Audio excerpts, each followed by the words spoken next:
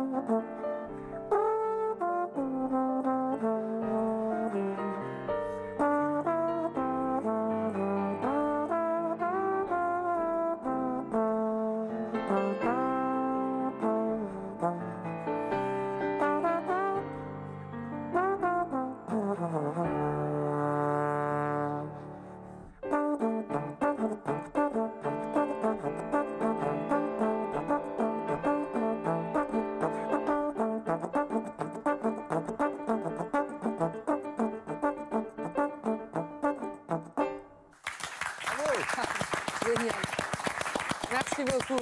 Philippe Enzo, venez nous retrouver dans les canapés de Culture Box.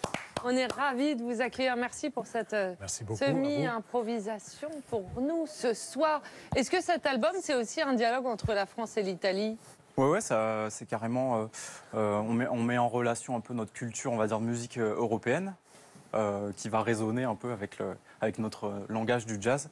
Et, euh, et je pense que euh, les Italiens, ils ont quelque chose de très, euh, de très lyrique, si tu me permets, euh, Filippo. C'est- absolument vrai. Voilà. Ça peut, ça peut sonner comme un cliché, mais c'est pas du tout ça. En fait, c'est l'opéra, vous savez, et tout ça. C'est c'est notre euh, legacy, notre, notre passé. ouais. Voilà, notre héritage.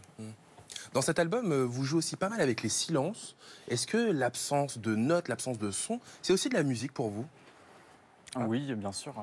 Euh, pour moi, le silence, euh, c'est ce qui. euh, faire silence euh, en soi, ça va permettre euh, de plonger vraiment profondément, à trouver l'inspiration et euh, d'effacer un peu l'ego et d'aller vers, euh, vers le- l'art le, le plus pur.